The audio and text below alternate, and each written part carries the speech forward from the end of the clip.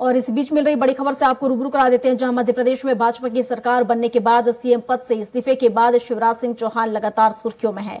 कुर्सी जाने के बाद भी लाडली बहनों से उनका मोह अभी भी नहीं छूट रहा है। कई बार बहनें भावुक होती नज़र आ चुकी हैं। अब एक बार फिर ऐसा ही नज़ारा देखने को मिला।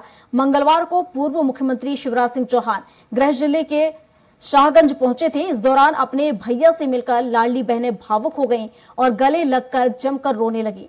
बहनों को संबोधित करते हुए पहली बार शिवराज सिंह चौहान ने अपनी कुर्सी जाने को लेकर बयान दिया।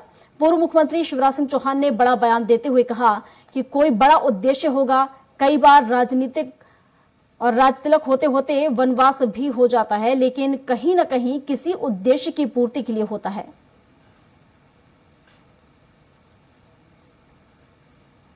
कई बार राज तिलक होते होते वनवास भी हो जाता है, लेकिन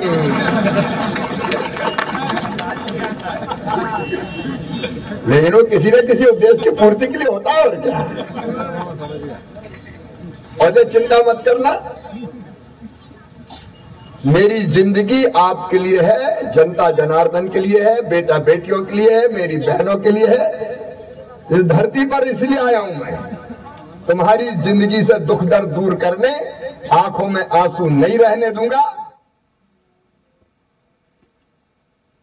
और इसी के साथ बुलेटिन में अभी के लिए बस इतना ही। अधिक जानकारी के लिए आप बने रहिए हमारे साथ और देखते रहिए स्वराज एक्सप्रेस। नमस्कार।